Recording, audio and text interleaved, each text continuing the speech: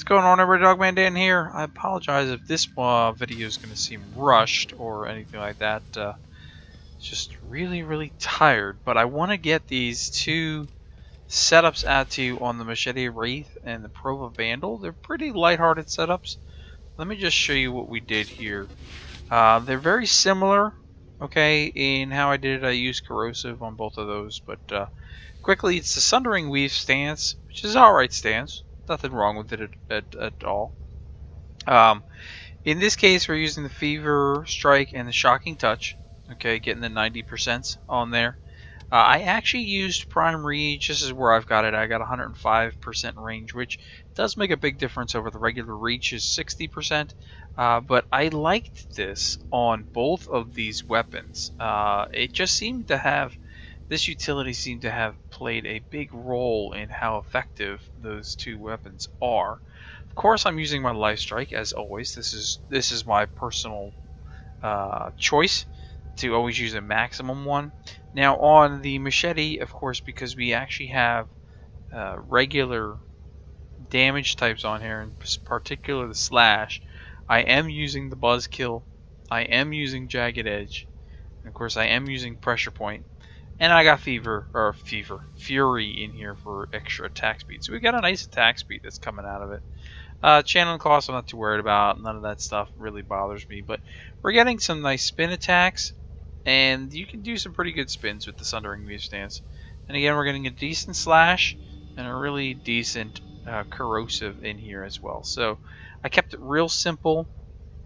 Uh, after setting it all up, I kind of took it back down to a kind of a basic and like I said, the prime reach actually works really, really well on here. And then, as you can see, it's only uh, about halfway ranked, so we're not even at the max rank there at this point. But th this was just the way that uh, I enjoyed it. There's a couple different things you could do, obviously changing around, you know, your element to whatever you like and such. You don't, if you don't have Jagged Edge Buzz Kill, you can put maybe even a second uh, element set in there if you'd like, that type of thing. Uh, but I kept it really simple, and it plays really well just just like that. Sometimes overthinking it uh, is actually a bad thing, uh, in my opinion. And then on the Prova Vandal, now the Prova Vandal being a straight up element only weapon, we're to change things around here just a tiny bit. So we've got Pressure Point, uh, because that's our only melee damage one that I really want to use on here. I'm not going to use Spoiled Strike. I don't want to uh, remove attack speed here um, too much. And as you can see, I've only got a 8 on the attack speed out of 9, 25% out of 30%, and that's just because uh, I don't have the extra capacity without putting Forma into it. But again, the Sundering Weave, uh, we're going to use a little bit of everything here. So some Fever Strike, Virulent Scourge, Voltaic Strike, and Shocking Touch uh, and that's going to all combine in to get the 420 corrosive, giving me almost uh, the same amount here in terms of wall attack. A little bit lower on the spin attack uh, than than the actual machete, but what we're getting here is we're getting this beautiful 44% status chance.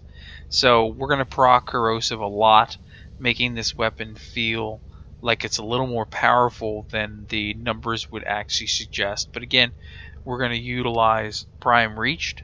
Uh, reach if I could speak. Wow I'm just I'm really I don't know what long day at work. Um, so we're going to utilize the prime reach because it just works well with these two weapons. And again the life strike when you need it. It's not often that you need it uh, but when you need it it's always good to have that as a utility. And of course you know personal preference on how high you want to use life strike, basic life strike, all the way up until the max life strike. I prefer max life strike. When I want to get my life uh, back, I want it all back at one time. Boom, I'm done.